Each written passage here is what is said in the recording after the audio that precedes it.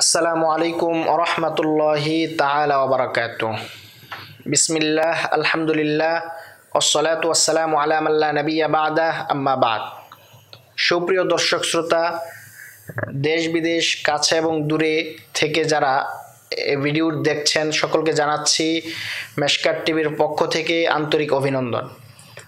সুপ্রিয় দর্শক শ্রোতা, আজকে আপনাদের সামনে যে বিষয়টি নিয়ে আলোচনা করব, সেটা হলো রমাদান মাসে যে আমরা রোজা রাখি, এই রোজা ভঙ্গের কারণসমূহ।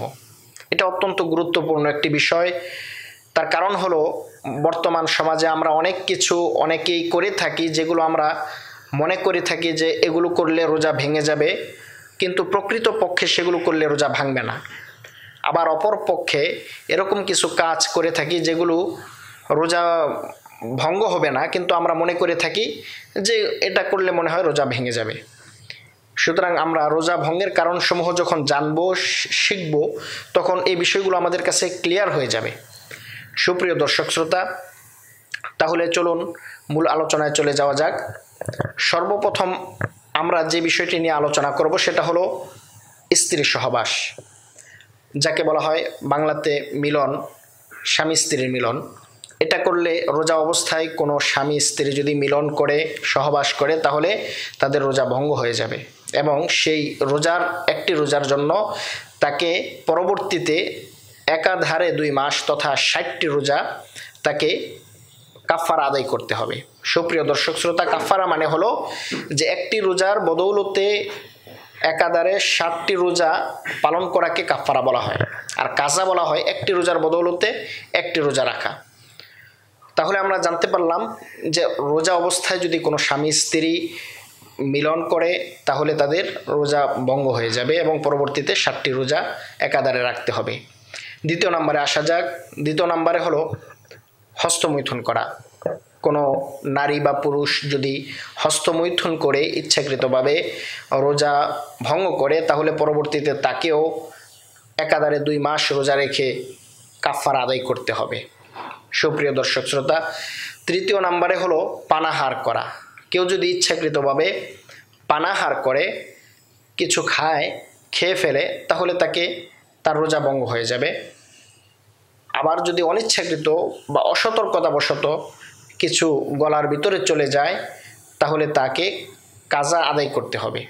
কেউ পানি মুখে নিয়ে কুলি করতেছে, এমত অবস্থায় যদি পানি গলার ভিতরে চলে যায় তাহলে তার অসতর্কতাবশত তার রোজা ভঙ্গ হয়ে যাবে এবং পরবর্তীতে তাকে এই রোজাটা কাজা আদায় করতে হবে। তারপরে আসি, কেউ যদি ইচ্ছাকৃতভাবে বমি করে, তাহলেও তার রোজা ভেঙে যাবে। কারণ বমি করা এটা রোজা ভঙ্গের একটি কারণ। সুতরাং ইচ্ছাকৃতভাবে বমি করা যাবে না। অনিচ্ছাকৃতভাবে হলে সেটার হিসাব ভিন্ন, সেটা অন্য হিসাব, কিন্তু ইচ্ছাকৃতভাবে বমি করা যাবে না। সুপ্রিয় দর্শক শ্রোতা তারপরে আরেকটি বিষয়, সেটা হলো সিঙ্গা লাগানো। আল্লাহর হাবিব সাল্লাহ আলহি আসাল্লাম সুনানি আবি দাউদের মধ্যে একটি বর্ণনায় বলেছেন, কেউ যদি সিঙ্গা লাগায়, যে সিঙ্গা লাগাবে এবং যার সিঙ্গা লাগাবে, উভয়ের রোজা ভেঙে যাবে। সুতরাং আমরা রোজা অবস্থায় এই সিঙ্গা লাগানো থেকে অবশ্যই আমরা বিরত থাকব। তারপরে আসি মহিলাদের একটি বিষয় নিয়ে, সেটা হলো হায়েজ নেফাস। আল্লাহ তালার পক্ষ থেকে মহিলাদের জন্য যেই একটি বিশেষ সময় প্রত্যেক মাসে নির্ধারণ করে দেওয়া হয়েছে, সেটা হলো হায়েস। তাকে আরবিতে বলা হয় হায়েস। প্রত্যেক মাসে যেটা মহিলাদের জরায়ু থেকে নির্গত হয়, এই হায়েজ অবস্থায় মহিলাদেরকে অবশ্যই রোজা থেকে বিরত থাকতে হবে, কোরআন তেলাওয়াত থেকে বিরত থাকতে হবে, নামাজ পড়া থেকে বিরত থাকতে হবে।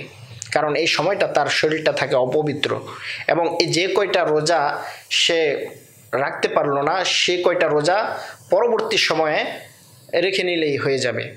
আরেকটা হলো নেফাস, যাকে বলা হয় সন্তান প্রসব করার পর চল্লিশ দিন পর্যন্ত একটা মহিলার সর্বোচ্চ চল্লিশ দিন পর্যন্ত শরীর নাপাক থাকে, তাকে বলা হয় নেফাস।